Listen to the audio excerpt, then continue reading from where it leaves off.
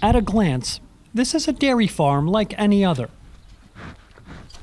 Livestock grazing in a field. The mechanical sound of milking machines among rows of cows.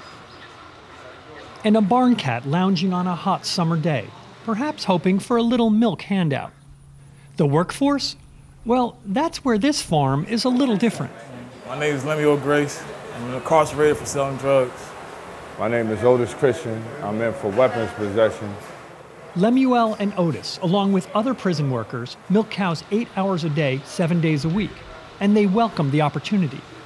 It takes you out off out of there and to another world. It's like you somewhat like it's a sense of freedom, and you told me like the cows is like our families, like we love them, so it's a, it's a big relief just coming down here.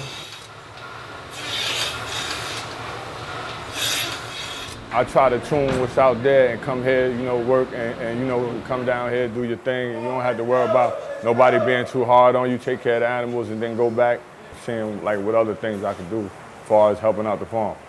First, I was kind of scared of them. They big animals, but I got used to it. The cows to me is like dogs. So they act like dogs a little bit. They pets. As long as you respect the cows, they respect you. The program instructors believe this chance might just be the turning point in the lives of these men. It gives these workers a sense of responsibility outside of the traditional prison cell life. Just working with the guys every day, if I can actually get to one of them where you know, they understand, like you know, what it's like to uh, work the nine to five job, or just be able to uh, maybe wrap their heads around as far as like when they hit back the street, they could get a job. For Otis and Lemuel, they recognize their mistakes they see this job as a means to a new beginning, a fresh start, and promise of employment after prison. Prepares you like far as waking up in the morning, you know you have something to do, you come down here, you make sure like it's a, it's a milk factory down here. Hopefully I can move down here and possibly work in there. You know what I mean? Yeah, I regret because I got kids. I got three kids, and I love them.